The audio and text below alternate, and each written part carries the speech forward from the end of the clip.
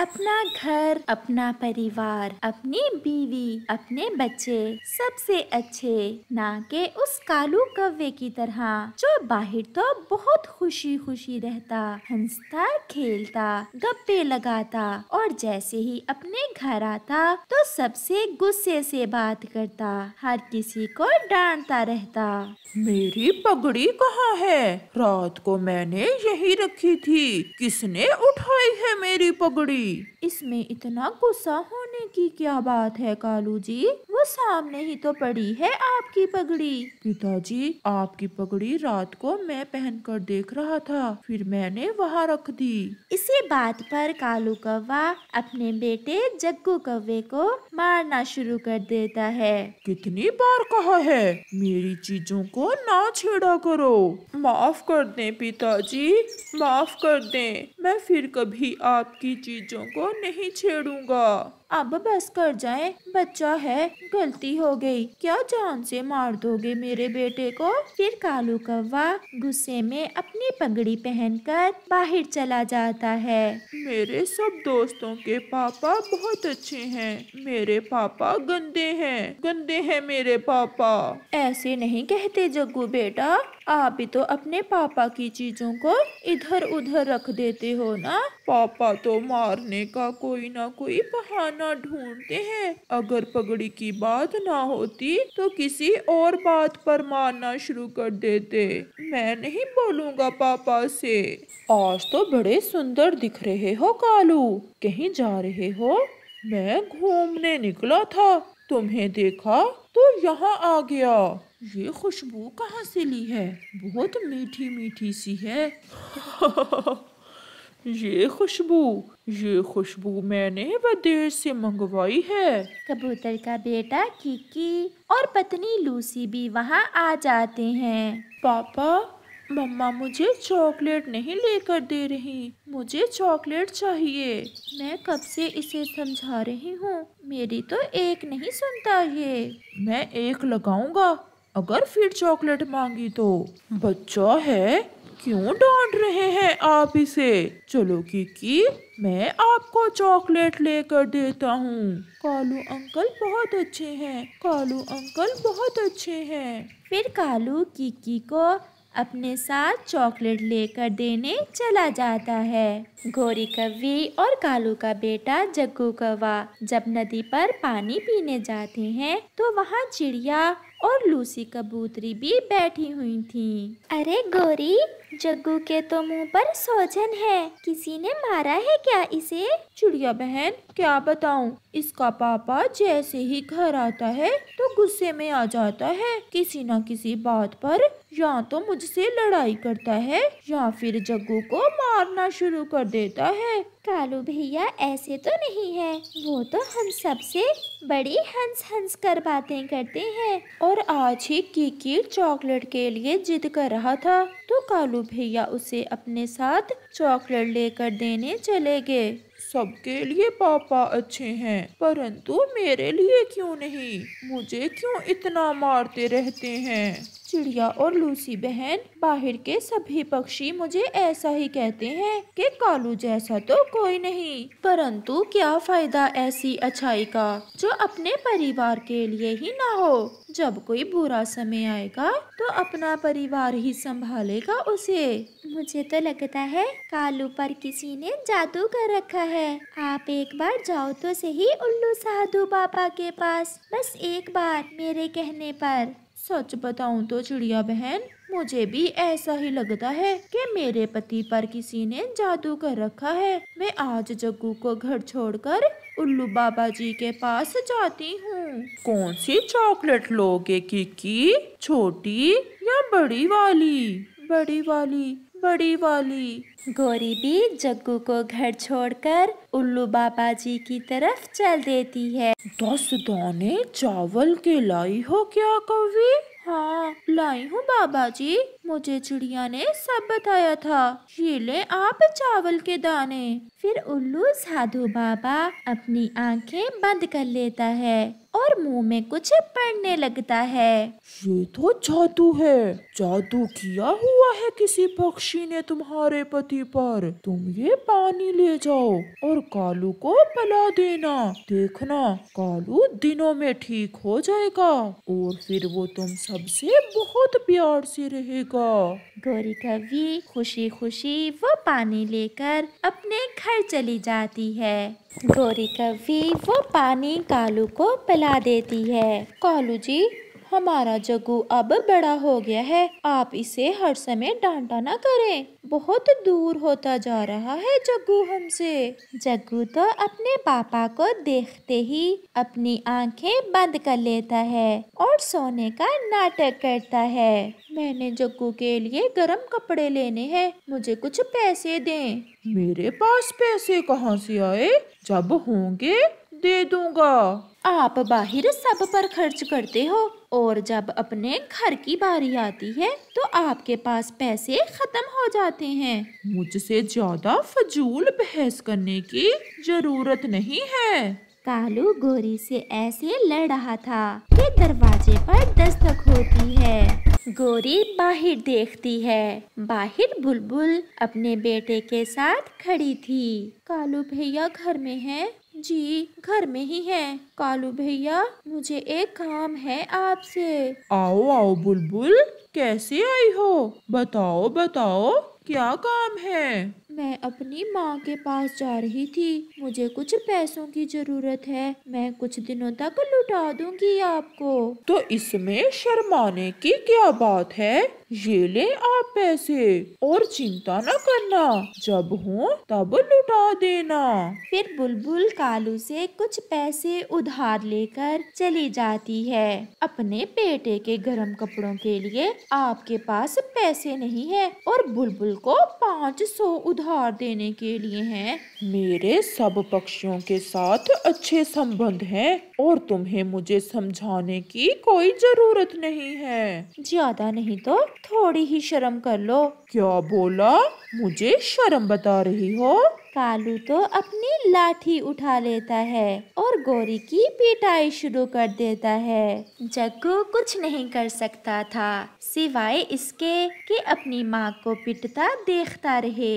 ऐसे ही समय गुजरता गया और कालू का अपने परिवार से रवैया और भी गलत हो गया था। मैं आज दूसरे जंगल जा रहा हूँ। मेरे दोस्त की शादी है। शाम को देर से घर आऊँगा। गोरी और उसका बेटा जग्गू खामोश थे। वो कुछ नहीं बोलते। रास्ते में जाते हुए कालू को एक चक्कर सा आता है और वो गिर जाता है। पूरे जंगल में कोई भी उसे उठाने वाला ना था। जब उसकी पत्नी गोरी और बेटे जग्गू को पता चलता है तो वो तुरंत वहाँ आते हैं और कालू को उठाकर घर ले जाते हैं। चील डॉक्टर को बुलाया जाता है। इसे फालज हुआ है। मैंने दवा दे दी है परंतु अब कालू चल फिर नहीं सकेगा। चील वहाँ से चली जाती है। कालू बात करना चाहता था परंतु उसकी जबान हिल नहीं रही थी। वो बात तक नहीं कर पा रहा था। ओ ओ ओ ओ, ओ बस यही जीवन है, कालू जी। अब बुलाओ अपने दोस्तों को और जाने वालों को। नहीं आया ना कोई भी? आज आएगा भी नहीं, क्योंकि अब तुमसे गंदी बू आएगी, क्योंकि तुम खुद से वॉशरूम भी नहीं कर पाओगे। मैं अपने पापा को वॉशरूम ले जाऊँगा। मैं ख्याल रखूँगा अपने पापा का। अब ये आपके आँसू तो बात कर रहे हैं, परंतु कितना ही अच्छा था। जब आप ठीक थे, आप भी हमसे कोई बोल खुशी का बोल लेते। कालू के आँसू। वो सब कह रहे थे, जो कालू ना कह सकता था, परंतु अब कालू कुछ नहीं कर सकता था, क्योंकि वो तो एक ज़िंदा लाश था। प्यारे दोस्तों, अपने घर परिवार से प्यार करो, उन्हें खुशियाँ दो, क्योंकि गया समय हाथ नहीं आता और समय के जाने का पता ही नहीं चलता। आपका धन्यवाद। इस नदी से मैं पानी पीऊँगी, या तुम? तो फिर मैं पानी पी लेता हूँ और तुम कहीं और से जाकर पी लो। गंदी आँखों वाले बुढ़े कबूतर तुम जानते नहीं मैं कौन हूँ। तुम कालू चोर की पत्नी हो और कौन हो? कालू को छोड़ो मेरे पूरे सात भाई हैं और मैं अपने भाइयों की अकलौती बहन हूँ। सीधे से यहाँ से भाग अगर ना गए तो अपने भाई बुलाकर ऐसी पटाई करवाऊँगी कि उम्र भर याद रखोगे। ये नदी सबकी सांझी है। मैं तो पानी इसी नदी से पीऊँगा। मैं डरने वाला नहीं।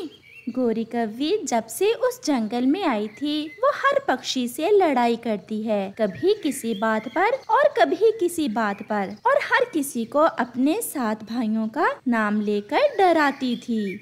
आज शाम से पहले पहले मैं तुम्हें मज़ा चखाऊँगी और तुम्हें लग पता जाएगा कि तुमने किससे पंगा लिया है। फिर गौरी कव्वी अपने भाइयों को बुलाने चली जाती है। कबूतर भी नदी से पानी पीकर अपने घर चला जाता है।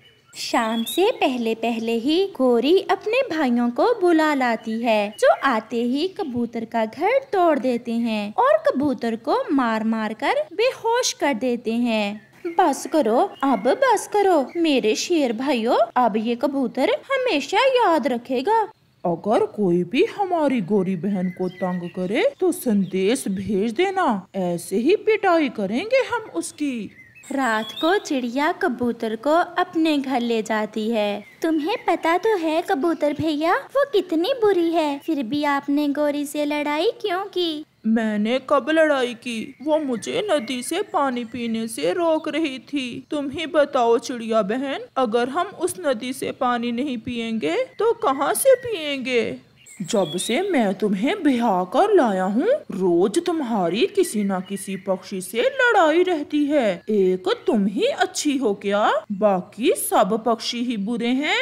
तुम्हें घबराने की कोई ज़रूरत नहीं है। मेरे भाई है ना मेरी जगह लड़ने के लिए। इतना जुलम अच्छा नहीं, ऐसा ना हो कि तुम्हें इसकी सजा मिले। चुप कर जा, ओए कालू जी। अगर मुझे गुस्सा आ गया तो अभी अपने भाइयों को बुलाकर तुम्हारी भी पिटाई करवा दूँगी। गोरी के भाइयों से तो कालू भी बहुत डरता था, इसलिए वो चुप हो जाता है। अभी दो ही दिन गुजरे थे कि बेचारी चिड़िया गोरी के काबू आ जाती है। चिड़िया ये दाना ले लो और अपना फल मुझे दे दो। गौरी बहन जी ऐसा मज़ाक ना करें। मैं ये फल बहुत दूर से अपने बेटे के लिए लेकर आई हूँ। अगर आपको फल खाना है तो जंगल के उस पार जाकर ले आए। मुझे रास्ता बता रही हो छोटी चिड़िया। अपनी शक्ल देखी है जैसी तुम हो वैसा ही तुम्हारा बेटा भी होगा। लाओ ये फल मुझे दो। गौरी बहन जी आप मुझे कुछ भी कह लें परंतु मेरे बेटे के बारे में कोई ऐसी वैसी बात ना करें। क्यों ना करूँ? अगर मैं करूँ तो तुम मेरा क्या कर लोगी? मैं अपने बेटे के लिए कुछ भी कर सकती हूँ। गोरी चिड़िया से फल छीनने की कोशिश करती है, परंतु चिड़िया अपना फल लेकर वहाँ से भाग जाती है। शाम होने दो, मैं देखती हूँ तुम्हें छोटी चिड़िया। मैं जा रही हूँ अपने भाइयों को बुलाने। गोरी की ये बात सुनकर चिड़िया तो और भी तेज भागती है। वो घर जाकर फल अपने बेटे को देती है। कुकु बेटा, जल्दी से ये फल खा लें। हमें तोते के पास जाना है। मम्मा, क्या हुआ? आप घबराई हुई क्यों हैं? वो गोरी कवि ने अपने भाइयों को बुला लिया है। बस आप जल्दी से फल खाएँ। भाई भाई आज उस छोटी सी चिड़िया ने मेरी इतनी बेजती की कि मैं बता नहीं सकती तुम्हें। उस चिड़िया की इतनी हिम्मत कि वो हमारी बहन गोरी से पंगा ले। चलो भाइयों चलो बहन का बदला ले। तोते भैया मैं तो अपना फल लेकर आ रही थी और उसने ऐसे ही लड़ाई बना ली मुझसे। वो अब ज़रूर अपने भाइयों को बुलाने गई होगी। आप अब अपने घर में न जाना। आप यहीं छुप जाओ। मैं कबूतर को साथ ले जाकर देखता हूँ। तोते भैया मेरी किस्मत ही खराब थी। अगर मुझे पता होता कि वो डायन रास्ते में बैठी हुई है तो मैं दूसरी दिशा से चली जाती। गोरी के भाई चिड़िया के घर जाते हैं परंतु चिड़िया तो वहाँ नहीं थी। डर गई। डर गई। लग रहा है मेरे भाइयों से डरकर भाग गई कहीं। अब हम जाते हैं, गोरी बहन। जब चिड़िया नज़र आए तो तुरंत हमें बता देना और हम आकर उसकी खूब पिटाई करेंगे। यार तोते, वो गोरी के भाई चिड़िया को पूरे जंगल में ढूंढ रहे थे। क्या आज चिड़िया से लड़ाई हुई है गोरी की? कबूतर चिड़िया मेरे घर में छुपी बैठी है। गोरी चिड़िया का फल छीन रही थी। बस इसी बात पर लड़ाई हो गई। अगर ऐसे ही चलता रहा तो वो गोरी हम सबको जंगल से निकाल देगी। उस दिन उसके भाइयों ने मेरी पिटाई की। मैं चुप रहा, परंतु अब मुझे कुछ ना कुछ करना ही होगा, उस गोरी की बच्ची का। मेरे पास एक उपाय है। बताओ बताओ तोते यार, क्या उपाय है जिससे हम उस गोरी के भाइयों का बंदोबस्त कर सकें? फिर तोता कबूतर के कान में कोई बात बताता है। तोता और कबूतर चील के पास जाते हैं। चील दी, मैंने आपके लिए मीठा अमरूदों वाला हलवा बनाया है। मैं वो आपके लिए यहाँ लाना चाहता हूँ। बहुत अच्छा तोते मुझे भी फलों वाला हलवा बहुत पसंद है। तो फिर जल्दी से जाओ और ले आओ। चील दी वो गोरी कवि बहुत शैतान है। मुझे डर है कि कहीं वो रास्ते में मुझसे फलों का हलवा न छीन ले। अगर वो कवि हलवा छीनने आए तो तुम उसे मेरा बता देना। फिर वो आपसे हलवा नहीं छीनेगी। ये सब तो तोता और कबूतर गोरी कवि को मारने के लिए जाल बछा रहे थे और वो वापस जाते हैं। चिड़िया बहन बन गया हलवा। हाँ हाँ मैंने हलवा बना लिया है। और आज गोरी पिटेगी और बहुत ज़्यादा पिटेगी। कबूतर और तोता वो हलवा लेकर गोरी के घर के पास से गुजरते हैं और गोरी उन्हें रोक लेती है। तोते और गंदे कबूतर ये क्या लेकर जा रहे हो? हम चील के लिए फलों का हलवा लेकर जा रहे हैं। मैं कोई चील से कम हूँ। लाओ, ये हलवा मुझे दे दो। नहीं नहीं, हम ये हलवा आपको नहीं देंगे। मेरे भाइयों की पिटाई भूल के कबूतर समझाओ अपने दोस्त तोते को। ऐसा कहते हुए गोरी तोते से हलवा छीन लेती है। कबूतर और तोता तो यही चाहते थे।